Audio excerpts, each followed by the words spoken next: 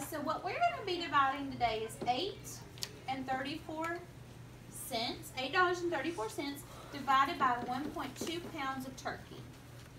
But before we can do our box method, we have to make a change here because dividing a decimal by decimal is not our friend ever. We want to be able to make that decimal in our divisor a whole number. And we know from Newton's law that whatever happens on one side happens on the other, right? We know that. So, to make this a whole number, what would we have to do, Jaden Wilson? You would multiply each number by 10. You're going to multiply each number by 10, and then in turn of that, what's going to happen to the numbers? They're going to shift, aren't they? So it's going to appear that the decimal is moving right. If we move it one time to the right on this side, what do we have to do over here? Move it one time to the right on this side. Then I rewrite my new problem, which is 83 and 4 tenths divided by 12. Okay? Then I write it as long division.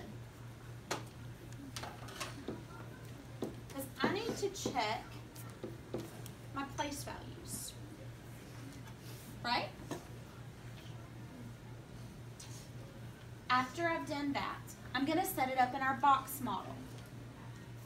How many homes need to be in my box model, Bryson? Three.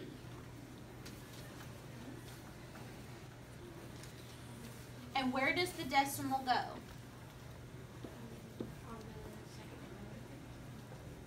Between which two place values? Kason? 8 and 3. My decimal isn't between the 8 and the 3. Where is my decimal?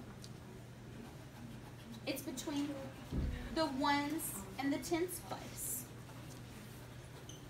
Now, I can start the math. There was that added step when we're doing decimal divided by decimal, right? So, I've got to use some estimation here. 12, how many groups of 12 will go into 8? Zero. 12 times 0 is? Leaves me with a difference of 8. I carry that over to the 3. That's right, Connor. And then I've got to think about 12. How many groups of 12 will go into 83? Think about what you know about 12 times 5. So what would be a good estimate to use here?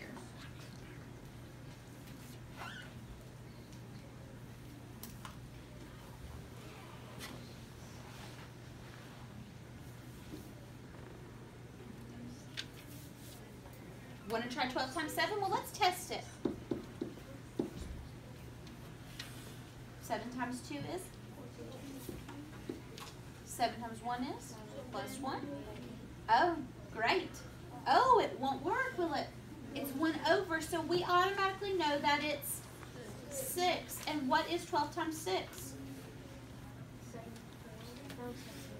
72. That leaves us with 9. No, that leaves us not with 9, sorry, 11. And what do we do with that 11 remain? Take it over. How are we going to get close to 114? Hmm? Well, let's try 12 times 9. Let's see. 9 times 2 is 18. Carry the 1. 9 times 1 is 9. Plus 1 is 10. Okay. I think that is going to be the closest, right? Okay. So we carry down all 9. Oh man. So what are we to do now? Because we have a remainder.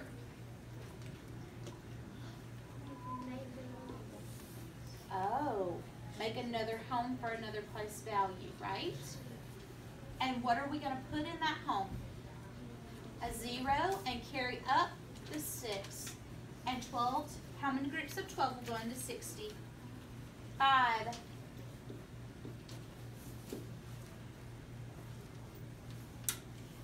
Want to rewrite my problem to be true. We start with our original problem, right?